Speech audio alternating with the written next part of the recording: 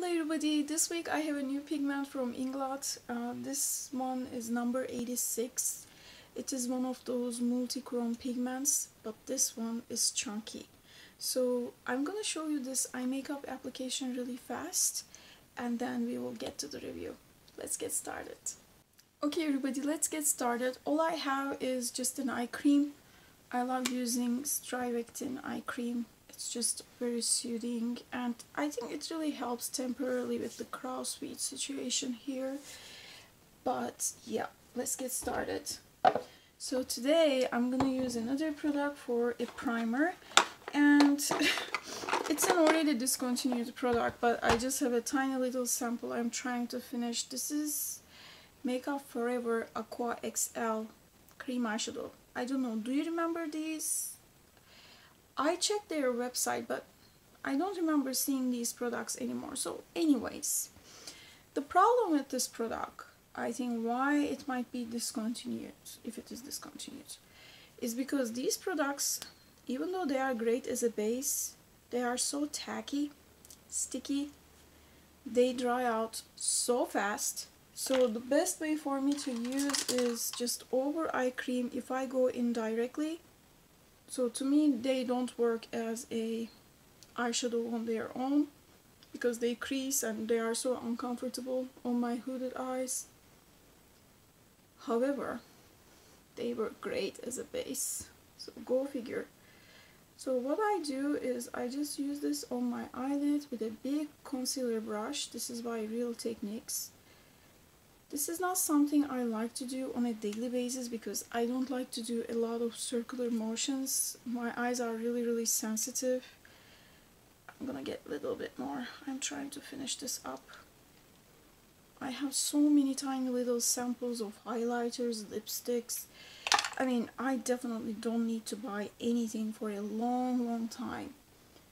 The only thing I am eyeing right now is actually the uh, Melt Cosmetics, the Beetlejuice collection, because I love purples and I don't have too much of greens like these fun greens though. So maybe I may buy that one because I really want to. It's so much fun and it has been a while since I last purchased an eyeshadow palette. Yeah, I may get something. I don't have anything from Melt Cosmetics so it may be a fun start, fun introduction to the brand. Now, uh, I don't know if you can tell, but this is extremely patchy here. So to clean up this patchiness on the crease and the brow bone area, sorry, I can't speak, I'm too excited. Uh, I'm just gonna use a concealer now. So the concealer is still the same, the Tatcha eye cream slash concealer. Um, this product is kind of building on me. Like, I like it a little bit. But I don't think it's going to be a repurchase. I think I'm going to go straight with a concealer next time. I still have ton of product. Now, I am using another brush. This is again by Real Techniques. This is base eyeshadow brush. So I'm just gonna blend some of this concealer to this area and kinda that this patchiness will be a little bit eased up. I can never do this type of makeup on a daily basis because my eyelids will be bleeding. Seriously. Let's set this brow area. I don't want to regret it later on. Where's my brush? Okay, I'm gonna get this finger-like brush. This is by Sonia Kashuk. It's an eyeshadow brush. yeah. I always assume this is a concealer brush, but anyways, it's apparently an eyeshadow brush. And I'm gonna set my eyebrow area with just like a, you know, simple eyeshadow. This brow bone area is very problematic. Ugh, I have a lot of texture there. This week I got this MAC brush. This is 240S. It's huge blending brush. But if you like to use satins in your crease or whatever, this just diffuses the color really really good. So it's a very nice blending brush. I still haven't used with matte eyeshadows, but with satins it just works perfect. And of course it almost covers my entire eyelid space because it's a huge brush. But I like to apply the satin eyeshadows just very lightly. It's a super soft brush. I already washed it three times. It doesn't irritate my eyelid space, so that was really important for me so if it also works with my matte eyeshadows, I have a new favorite blending brush. This is number 86 again. It's another duochrome pigment. I see purple, gold, green. Look at that. However, this is one of those chunky pigments. Okay, so it is important to use a sticky base. If you can, just use a glitter glue, seriously. So, so good. I mean, look at that shift. Uh, I mentioned it in the last video, but if I just try to do swatches with this, it's not gonna show up much. It's just gonna look like skin and glitter. But on the eye, it's a different case. So, I think I should have used my Concrete Minerals eyeshadow base.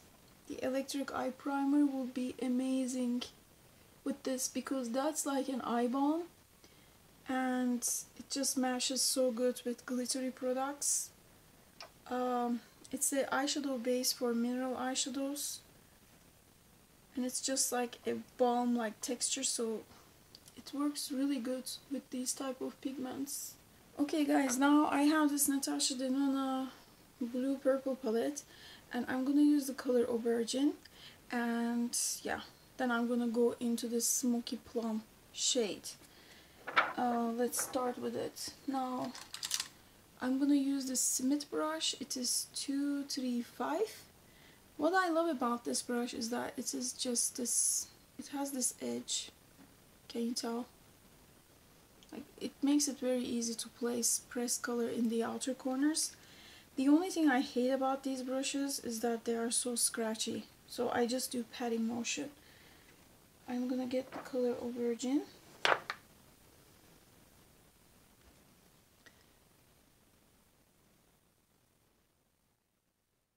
just gonna press it in the outer corner.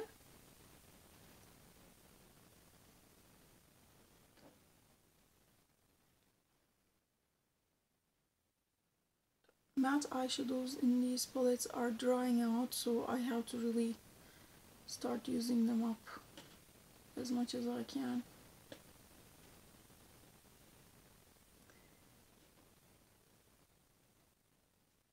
And I don't know if you can tell but there is this very sharp transition from this glittery shade to this matte shade. So in between I'm going to use a shimmery color and for that one I'm going to use this smoky plum shade. Ugh, this one. So yeah.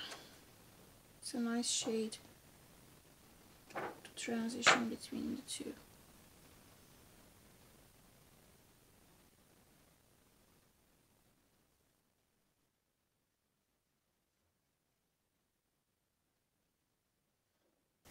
I'm just gonna get a clean brush like this. This is a blending brush and I'm gonna blend the edges a little bit.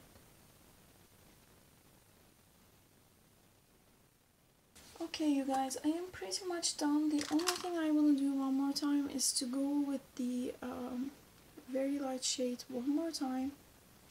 I use this color, Buttery, to set my brow bone area it's not entirely matte. It is it's matte slash satin. Now I'm gonna complete my face makeup clean up all this fallout from my face and then I'm gonna review this week's pigment. These are chunky pigments and they are so difficult to use. Even though it looks really yummy like this when I use it I usually have to go through some hassle. I just press it with my fingers but your base really matters when it comes to these. And I tried using the product with wet brush. I mean usually it is always the same case. Even if I don't have fallout right away throughout the day I start seeing some sparkles on my skin. So yeah these chunky ones are a little bit of a hassle.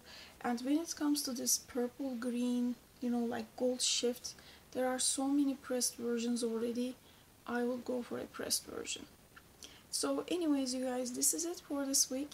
I hope you guys liked the review. Thank you so much for watching. Stay safe and I will see you next week with a new pigment. Bye